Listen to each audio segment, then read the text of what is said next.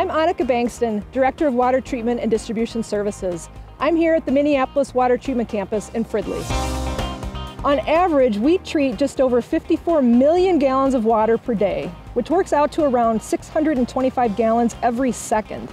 Last year, we took about 19 billion gallons of water out of the river, which sounds like a lot, but it's only about 1% of the average flow. In addition to Minneapolis, the water we treat is distributed to Crystal, Golden Valley, Bloomington, New Hope, Columbia Heights, Hilltop, the Edina Morningside neighborhood, Fort Snelling, and the Minneapolis-St. Paul Airport.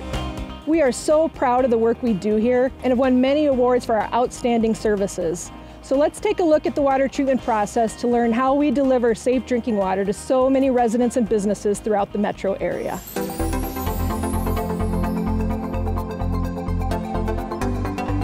Hi, I'm George Kraynick, Water Quality Manager for the City of Minneapolis. I'm standing here at Pump Station 5 where it all begins.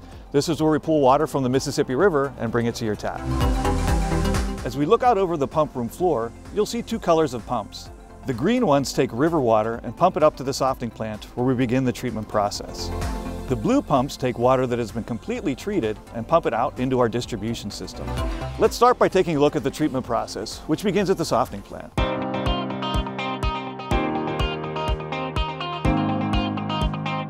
The softening plant is where we remove 90% of the contaminants from the Mississippi River. To do that, we add two chemicals to the water, lime and aluminum sulfate. The lime, which is just calcium, helps soften the water by removing hardness minerals. On an average day, we add almost 30 tons of lime to help remove these minerals. And because of this, Minneapolis residents don't need a water softener. We use so much lime that it's delivered in rail cars. This rail car holds 100 tons of lime. During the summer months, we'll go through three to four rail cars of lime in a week. Aluminum sulfate is a coagulant that removes particles and color from the water. Once the chemicals are added, the water comes here.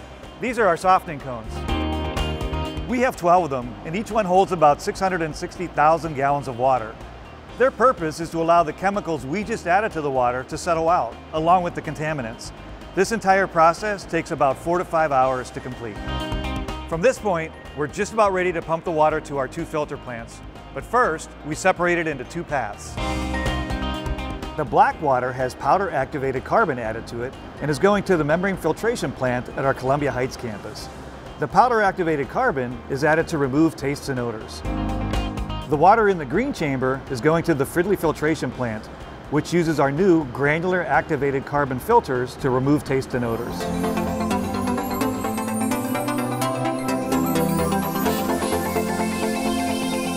Now we're at Fridley Filter Plant, where we add an additional coagulant to help remove any particles that weren't removed in the softening process.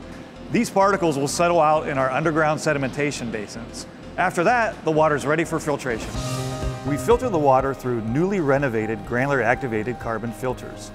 Then we complete the final steps in the treatment process, which includes disinfecting the water, adding fluoride, a Minnesota state requirement, and add a chemical to protect our customers from lead exposure. After this, the water goes to two 16 million gallon storage reservoirs and then back to the pump station where it is sent out to our distribution system for our customers. To maintain our high quality filtration system, the city began a rehabilitation project a few years ago. Let's take a look at those updates. Hi, I'm Dale Folan, the lead engineer on the filter rehabilitation project. The filtering methods that were used back in the 1920s when this plant was originally designed and built are still useful today. However, we've made several advances on how to optimize that method of filtration. Most recently, the city began upgrading much of the piping and valves at the filter plant to ensure safe drinking water for many years into the future. For the rehab, we kept the concrete structure in place, stripped it empty, and rebuilt the internal working components to make the system work according to modern standards of drinking water treatment. We also updated the filters by reconstructing them with all new systems. The filters typically run for about a week, then the accumulated materials need to be removed. To modernize the system, we added air scour to improve the cleaning efficiency. We also added a new water tower to hold water to clean the filters and added an underground tank to capture that wash water and recycle it. Lastly, we updated water quality instruments that work with the computer control system to ensure that the plant always meets our water quality goals. The remaining 10 filters will be up and running later in 2022.